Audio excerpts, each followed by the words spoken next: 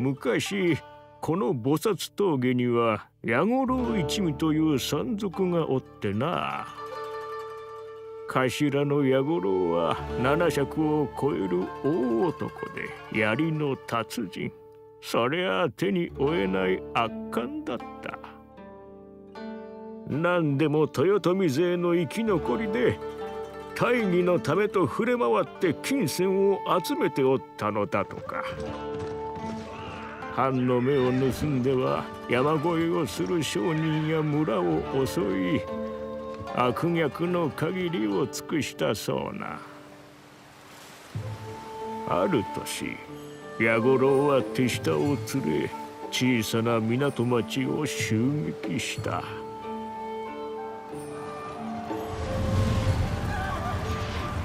殺すだけ殺し奪うだけ奪った。かろうじて生き残った者は弥五郎に戯れで生かされた子供一人。自らの武勇伝を語り聞かせ宴で釈をさせたという。弥五郎は子供好きでなひとしきり可愛がった後切り捨てて次の子を見繕っていたんだと。その子供も死産血画の中で自らの運命を悟ったろうよ。夜明け前には自分も同じように無黒になるのだろうとな。おしまい。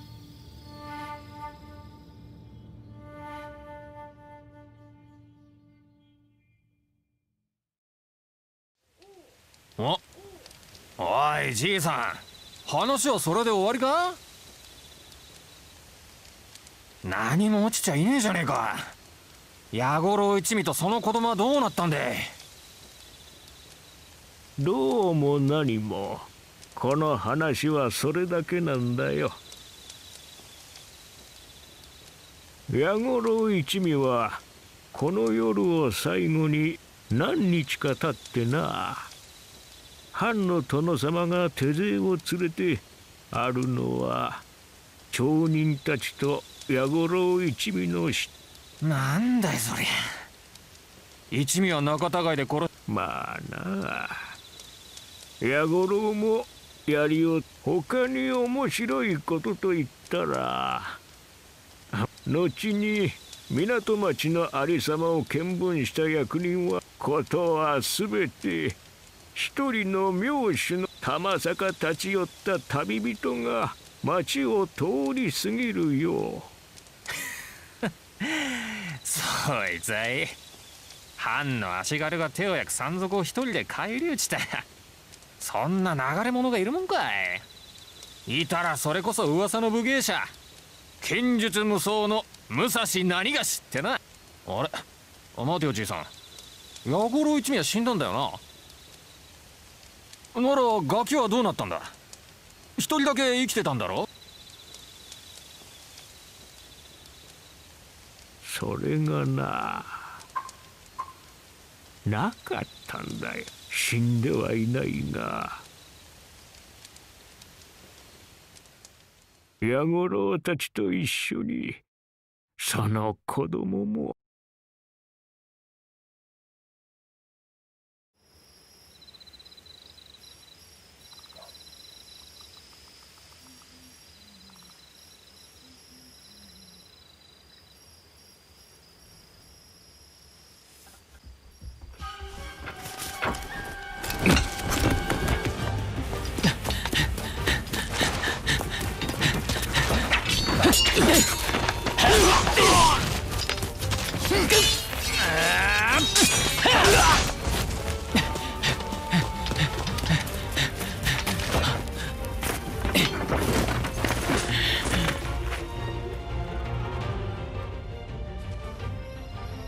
のよしあって俺を狙う。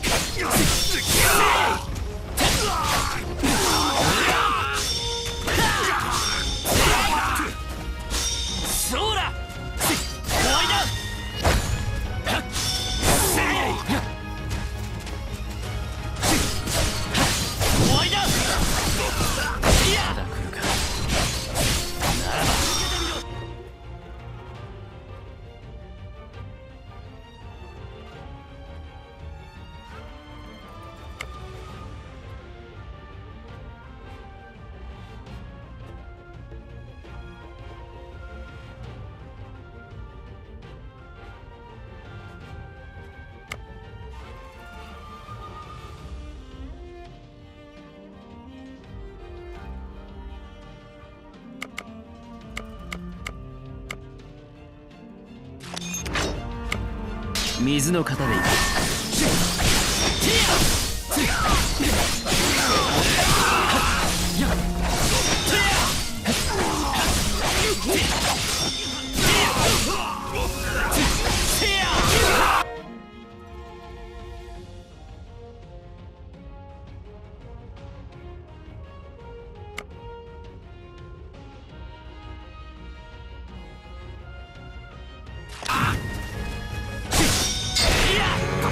受けてみろ。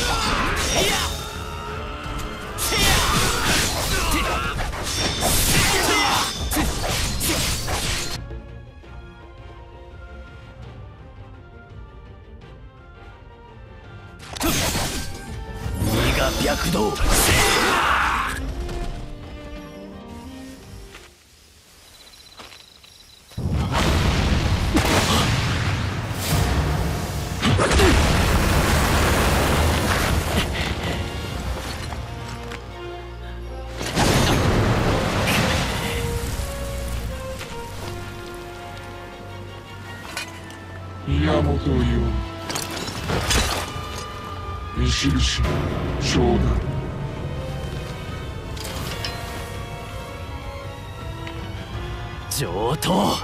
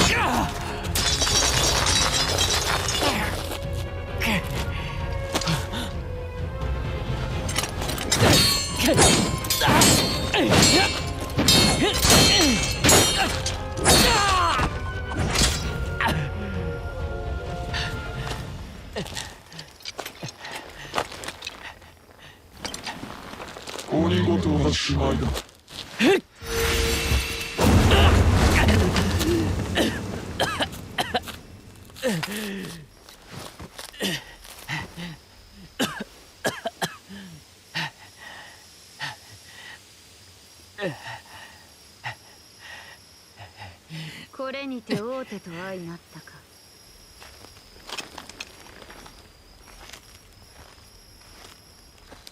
話下がれライダー。名を知らせずして打ち果たすは我が心情にもとるゆえ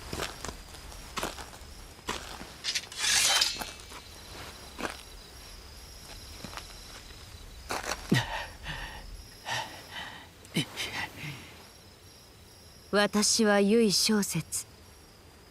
烈士足らんと志すものである。宮本伊織殿。この度は誠に申し訳ないがゆえあってお命をいただく。俺はまだ死ぬわけにはいかない！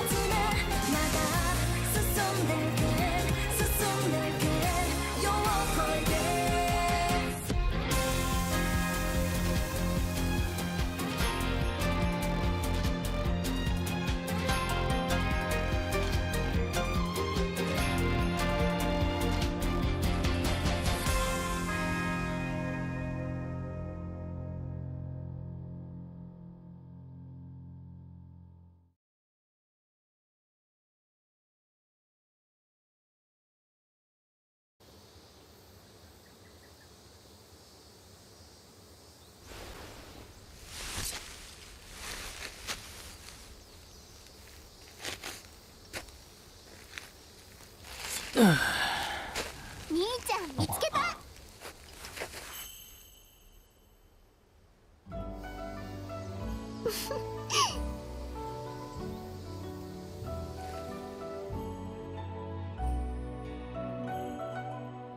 かやか。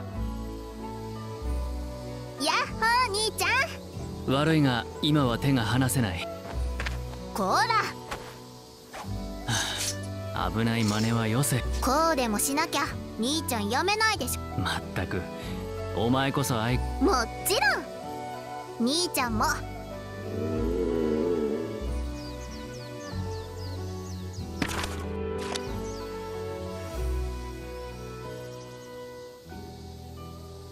食べてないじゃん。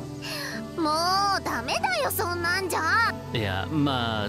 言い訳無用。私ついこの前も飢えてこそたどり着く境地がどう結局。お腹空きすぎて倒れちゃった自分を追い込むのも。あれは未熟だった。未熟ゆえ腹。ふ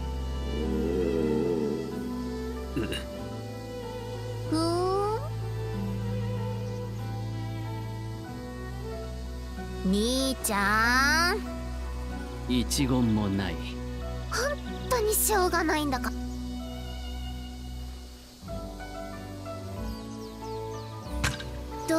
こんなことだと思っておむすびこさえてきたこれ食べて稼いできなさい。まあいつも悪いな。できた妹がいて兄は鼻高々だ。本当？ってごまかされないんだからね。ちゃんと稼い分かった分かった。助之進に口利きさ。お前は小笠原の家に帰れ。はーい。兄ちゃん。あお前もおが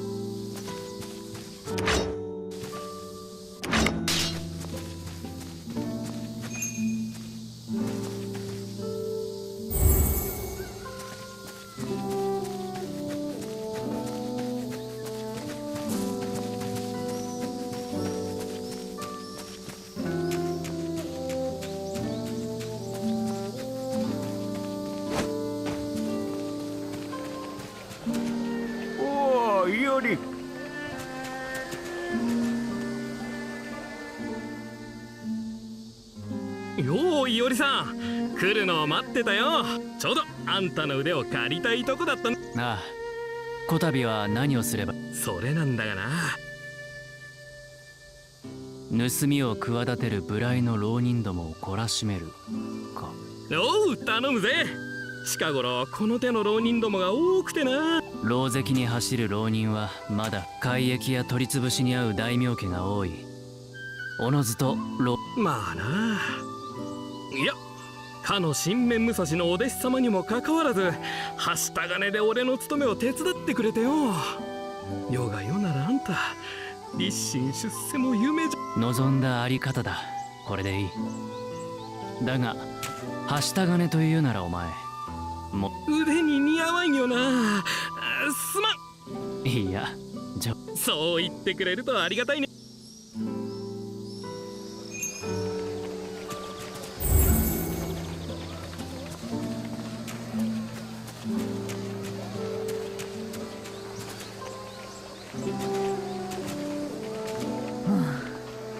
浪人がそこかしく やだね。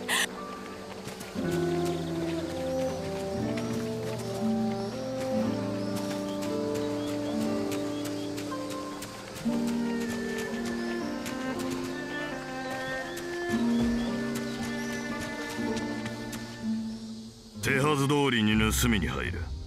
先を思えば金はい石川何がしの真似事か？やめておけ。なんだ貴様。面倒だ。消せ。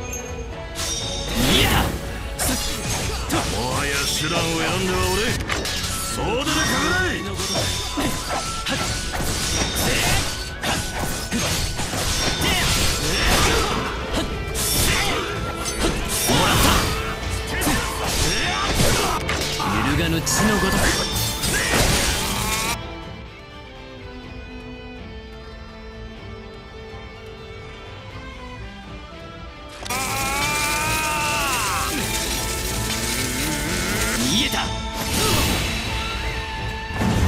また一つ強くなれたか？片付いたか？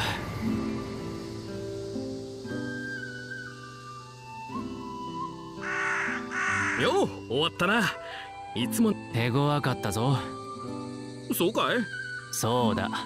ではお？おいあんたその手はどう？左手の甲だ。ずいぶんなざあざ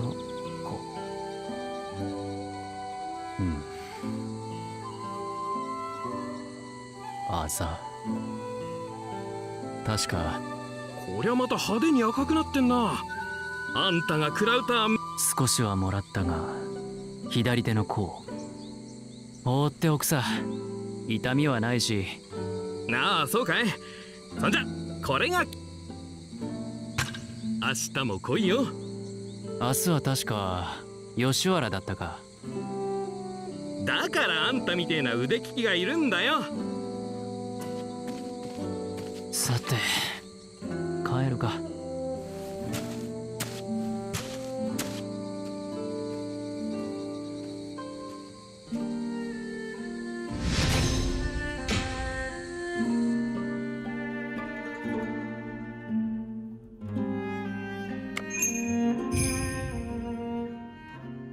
お疲れ様夕げの握り飯世話を焼きすぎだぞかや。このあざ。痛みはないが色味が濃くなっているな。なんだ？紅玉は寝ているか。明日にしよう。せくようなことでもなし。たかが左手のあざ一つ。我がなぎの。食ったら寝るか。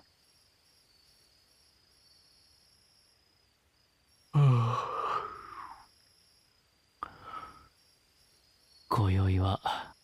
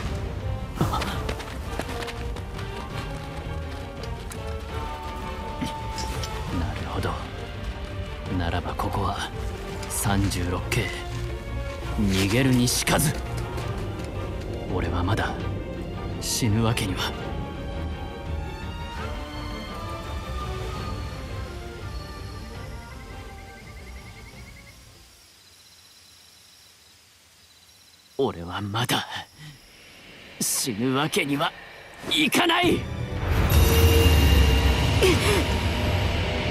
この光やはり。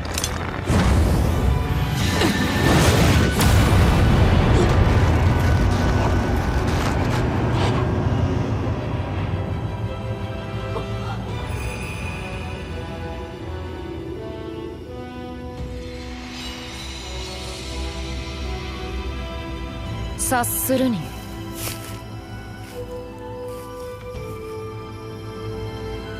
君が私の呼び人か。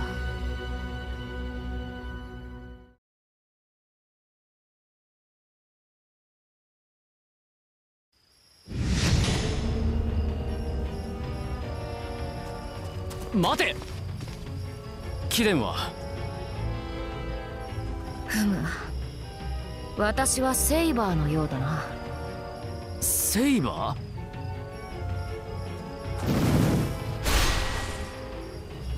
いとまがない。まずは離れる。呼び人よ。君の名は何だ？ーいおり宮本いおりだ。ではより遅れるなよ。待てセイバーと言ったがシス。気安いな。呼び捨てられる覚えはないぞ。名乗ったのはそちらだ。いや話をするいとまはな。行くぞ。逃がす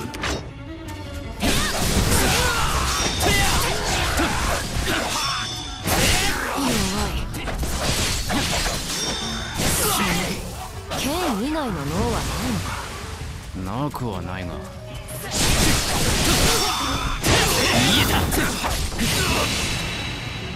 行くぞより。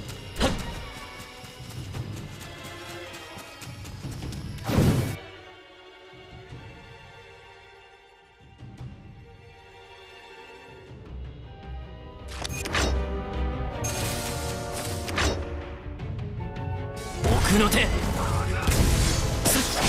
炎とは。奥の手本職ではないがな。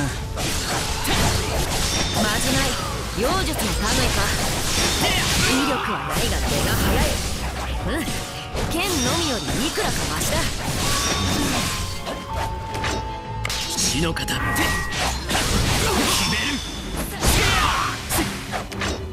鋭き水の流れのごとく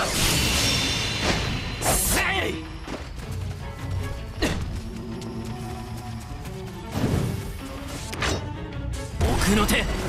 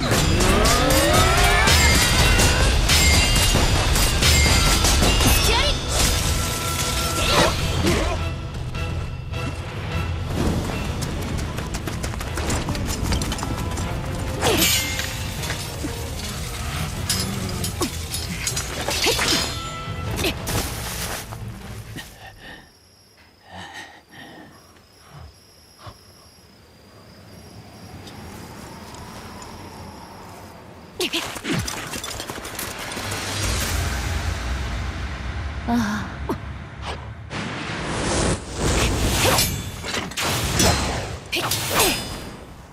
新手か。姿を見せろ。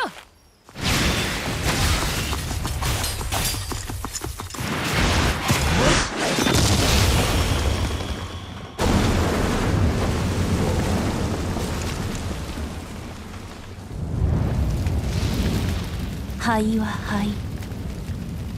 塵は塵。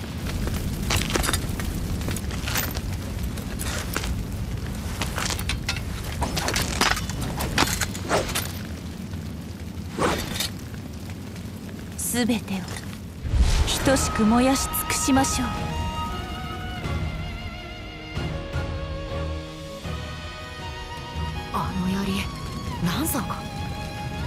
一晩のうちに2機と相まみえる。命が惜しくば下がれより私がやる。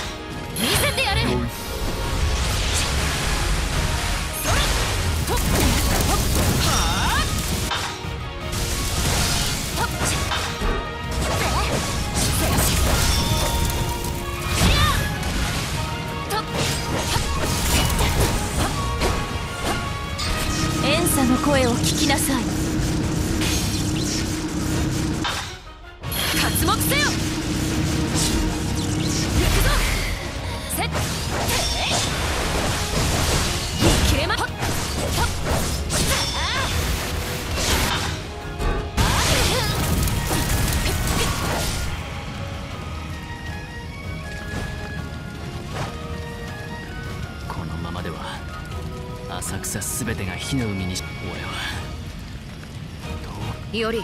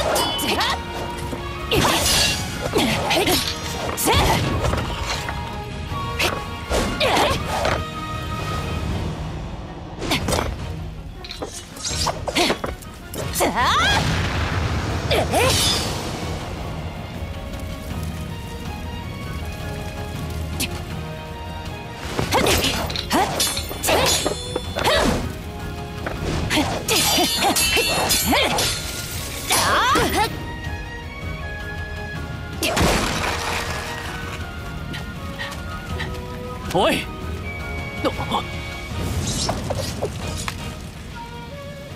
矛を収める気はないか。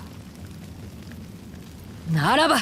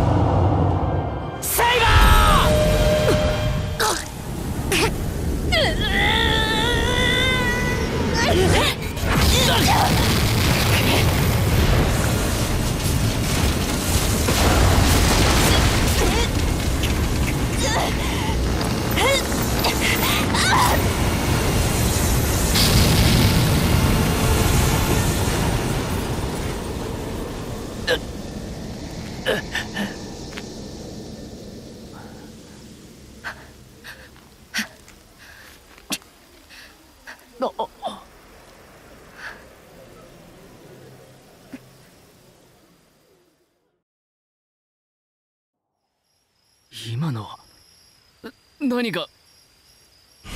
引きましょうマスター。英月の儀人目をはばかるべきかと。我らも下がる。ライダー。宮本伊織マスターの一人として今は不足と見た。承知。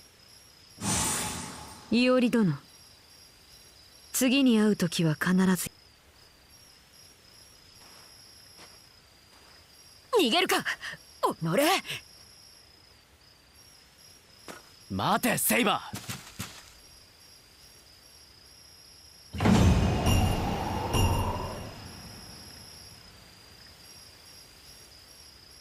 なぜ追わぬ？より私ならあの程度の連中。ー町を砕き尽くすつもりか？いいか？二度とその刃を。それを水の鞘から抜くな。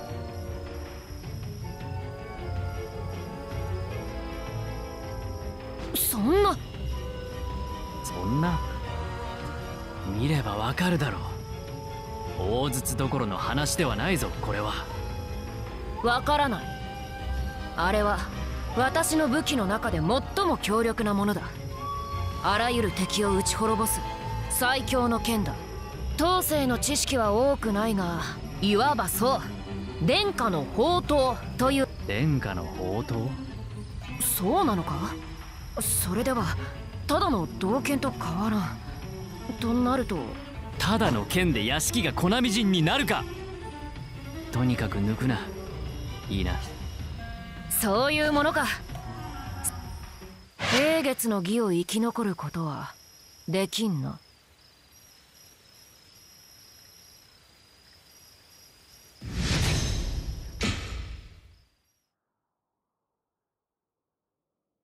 英月の義そうだ。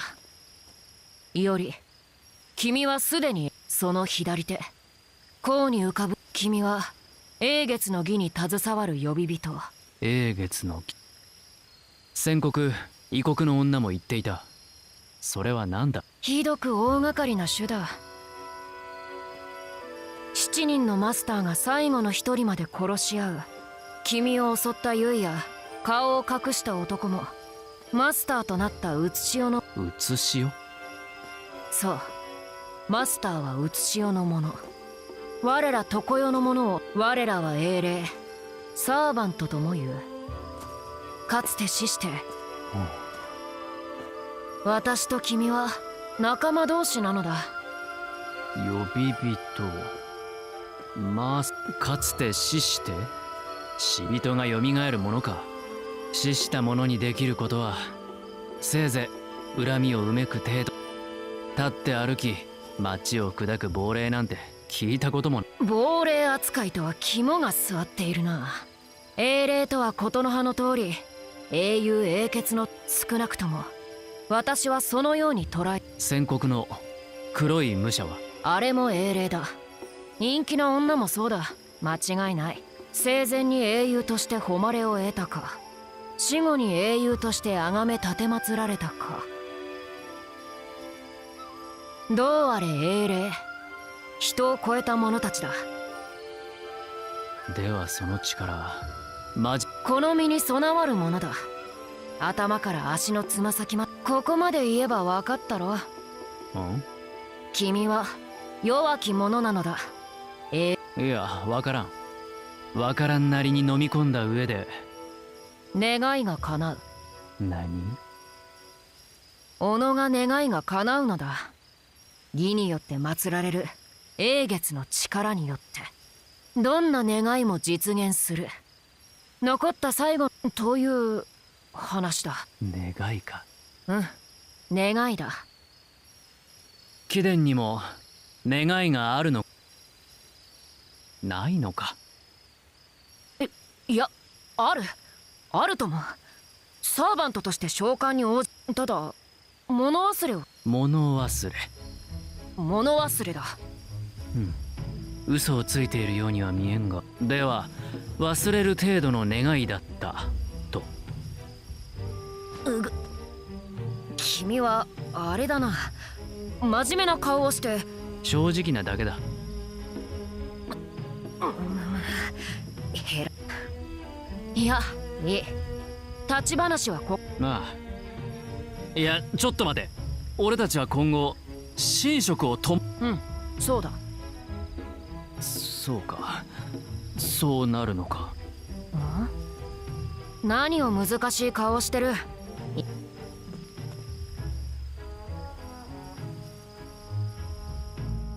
うん。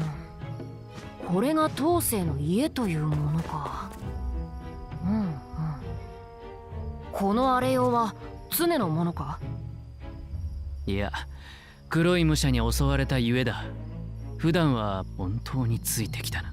あーそれ義について他に分かることは？ないぞ。ん？ない。ない？ない。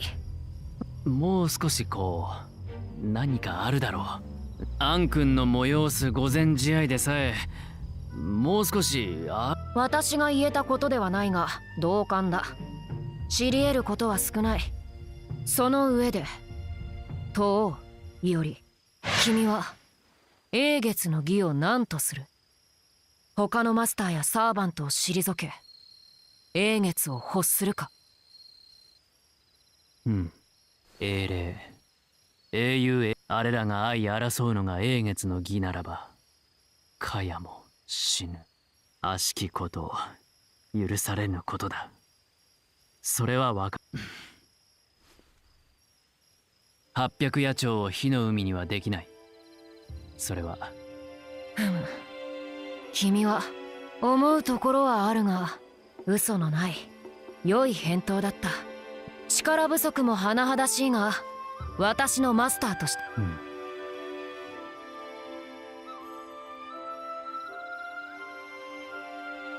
うん。ではまず名を教えてほしい。英霊かつての英雄英傑。どんなってわからないのか？じゃあいい。私は名乗るほどのものではないということだ。貴殿を呼ぶときに支障が出るだろおいでもお前でも好きに呼ぶといい。そもそもいおりは弱い。弱いマスターに名を明かしても私に利はないぞ。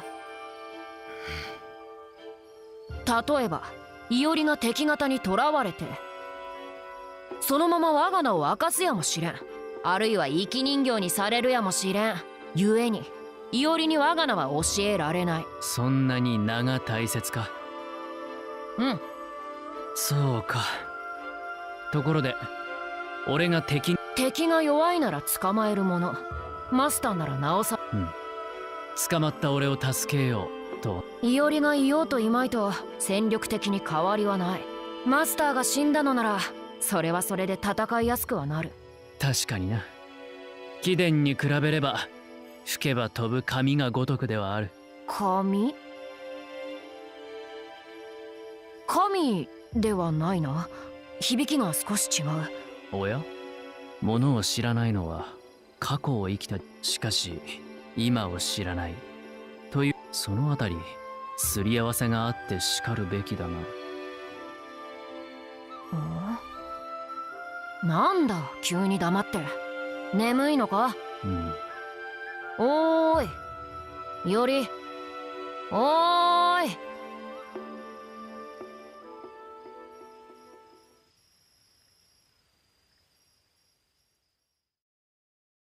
さようなこともあろう。英月の儀何分手探りの試みゆえな。は。ランサーの妨害さえなければ神明の類推も叶ったのでしょうが。ともあれこれでようやく7人の呼び人が揃ったといえ土帝殿。報告大義であった。してなぜキャツをみすみす取り逃がすような真似。それは。こたびの件お前の友も腹に据えかねているとみ。恐れながら慈悲深き我が主よ。無知な者を無知なまま殺すことも慈悲かと。言ったはずだライダー。マスターの自覚なき者を切るは我が心情にもとる。よい清水入を済まず。赤上五国をせいぜいその生真面目さで斧が首を絞めぬよう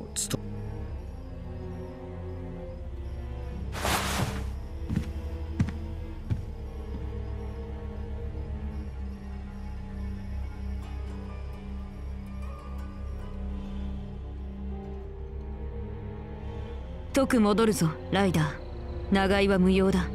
お待ちよ無作法者が。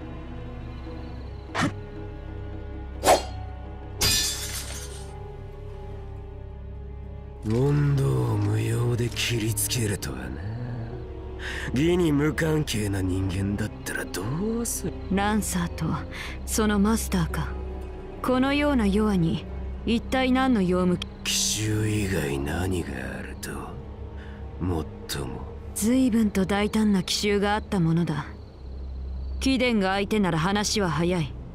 ライダー。待て。やる気が有り余ってるのは結構だがそいつと正面からやり合うつもりはない。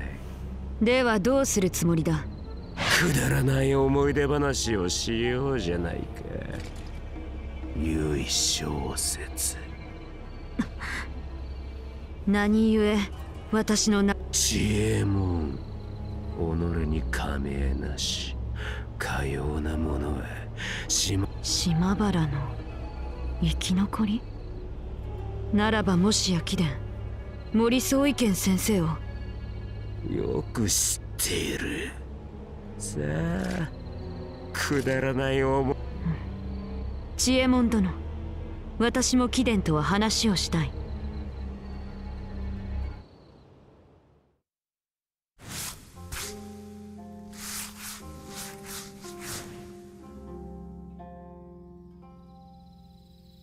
わしが剣にのみ生きたのは今のお前ほどの自分だった。戦国の世が続いたならばわしはそのままで生きただろうだが世は変わった。ならば道も変わるは道理。二天一流は剣のみにあらず心の形。人が人としてよく生きるための武蔵なりの覚え書になった。いおりお前は特別だ。他の者とは頭の出来が違う。新しきを受け入れる柔らかさ。古きを尊重するつつましさ。和を良しとする穏やかさ。そしてその上で合理を選び取る勘の良さ。お前を養子としたのはその才を見抜いてのこと。鍛えれば良い試し切りの相手になるだろうとな。決して情などではない。情などではなかったのだ。師匠。だがお前は優しすぎた。若い自分の武蔵であればあるいは。師匠？武蔵の教えなどお前には苦痛でしかない。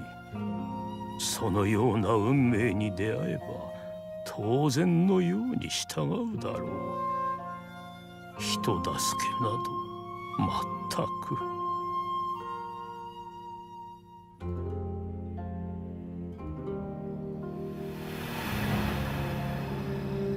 りお前は生まれる時代を間違えたのだ。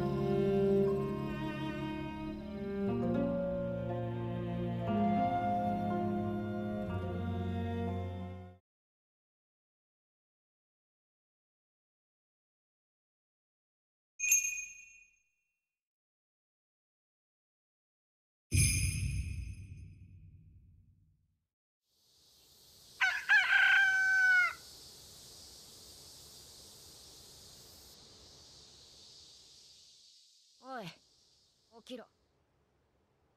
もう師匠。起きろ。聞こえないのか？いや。いい加減起きろ！より！おはようセイバその呼び方はまあいい。先が思いやられるあの程度の戦いでどれほどまったくもう。次は？ーそれは困る。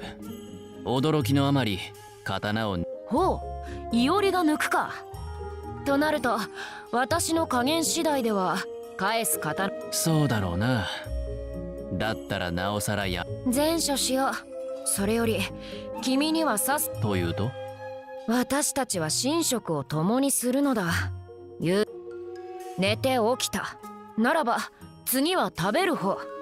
うん。朝げの時間だ。さあ支度を。より。兄ちゃん大変だよ。隣の家がみんな壊れて。おや来客か？客というか昨日の今日だぞカヤ一体何しに？兄ちゃんちも大変じゃない。一体何があったの？ああそうだな。人ならざる者の襲撃を受けた。何？単純な話だ。荒ぶる雷神の放った雷がこの辺りに落ちた。おかげで昨べは大騒ぎだ。なあいおりイカズチか。って誰ですかこの孤児？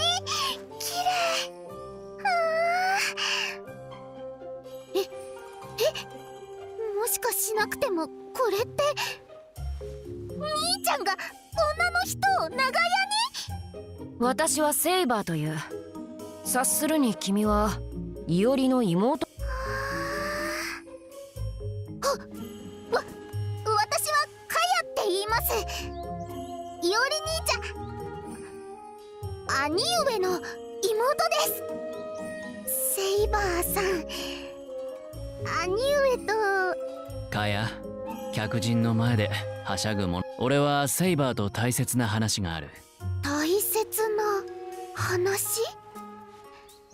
しよう。こんな綺麗な姉上ができるなんて。勘違いで姉を生やすな。ほら帰った帰った。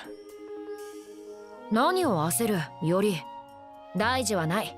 妹もは私。そういう問題ではそもそも君が巻き込まれる必要すらな。いイオリがどこかに隠れていれば私がイオリとてライダーとランサーを見てまともにむしろ思われてしまうと困る。ん。何の話うん。黙って聞いておれば大層な口を聞く。何者だ？あ本のじいちゃんやっと起きたか。あれだけの騒ぎの後に随分とのんきだな。ん？喧騒が心地よう身に響いての。気づけばぐより。本だよ。本？おう南蛮の書だ。日の本の書はもっと薄いし。ははなるほど。東大ではき。木簡か？本を知らぬとなればいやこそばゆりはそう熱く見つめるでない。まあわしのような書に夢中になるのは仕方ないかもししかし本か。時が変われば書も口を聞き空を飛ぶようになるとはなんとも驚きだ。いやいや本は飛ばないし喋らない。このじいちゃんがおかしいだけだ。おおならば何がしかおかしいだの怪異だの悪意のないトゲが突き刺さるわ。じいさん 紅玉の書は父の遺産だ。